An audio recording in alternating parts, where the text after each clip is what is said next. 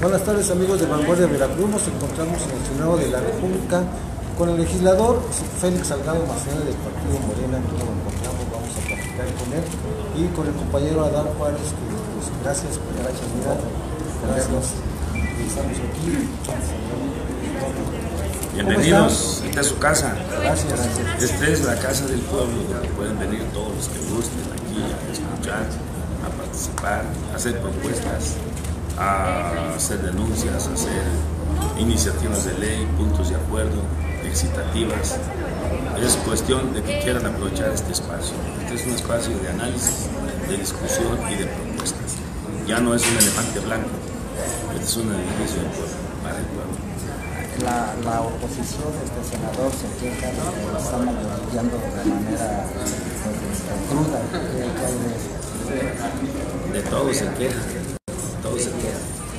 Y es que no se acuerdan que la mayoría y cómo trataban a las minorías, cómo llegaban las iniciativas de ley calientes, no te ponían el legajo la mano, hasta tan caliente que recién salía de la impresora y no te daban tiempo de leer y las aprobaban.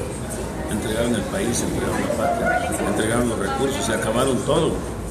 Y ahora están chillando, que dejen de estar de chillones. Eh, Dice, dice también que, que el Poder Ejecutivo quiere absorber al, al, al Poder Judicial. De ninguna manera. El Poder Judicial, el Poder Legislativo y el Poder Ejecutivo tenemos independencia y tenemos autonomía.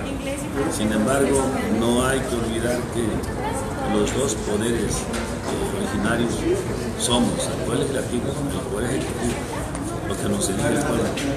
Y el Poder Judicial no, pueblo.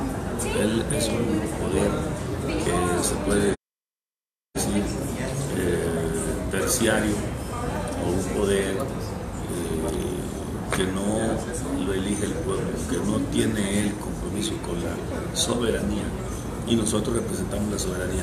Si aquí ya hicimos una ley de remuneraciones, se tiene que respetar.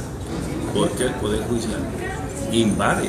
¿Quién es quien invade? El Poder Judicial invade la esfera legislativa.